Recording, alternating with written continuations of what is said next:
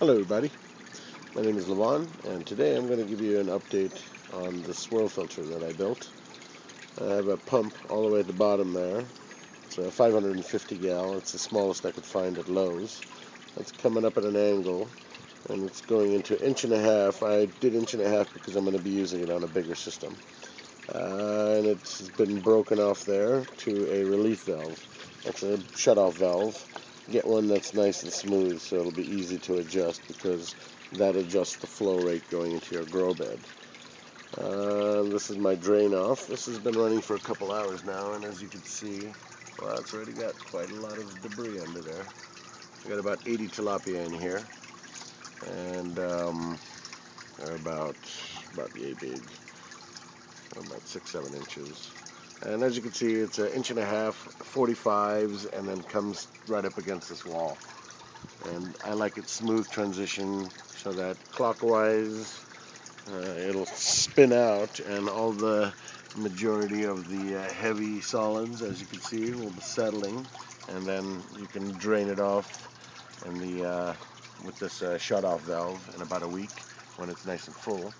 Or when you notice your nitrate levels are rising and then it comes straight up to this uh, upward facing street 90 it's a two inch street 90 and I adapted it so that it fits into this inch and a half.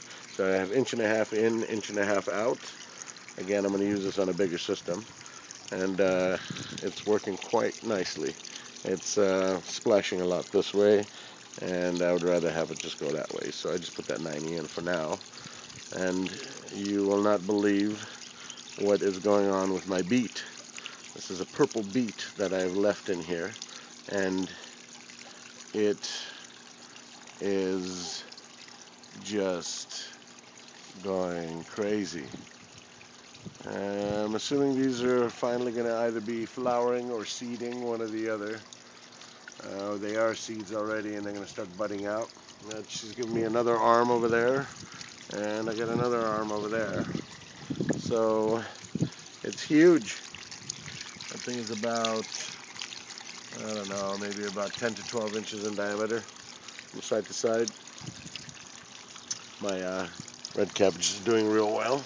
This guy's very, very fat and it's time to come out. This one is not doing very well.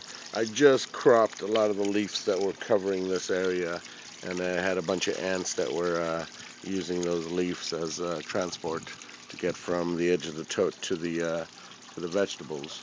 So I like to make life hard for them because they ruined my last crop of watermelon that I had. They put all that white flaky uh, powdery stuff which they're trying to do on this. But look at the size of that guy.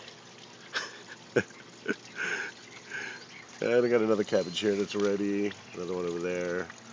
Uh, so it's coming along. That is the cabbage for you. And there's the huge beet for you. And uh, the swirl filter.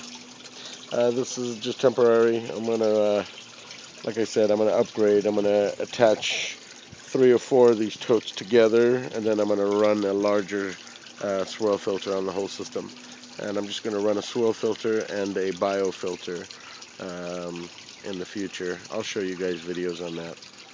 As for this, I just couldn't help but show you guys how, how amazing this thing is growing. Yeah. My name is Lon, and thank you very much for watching.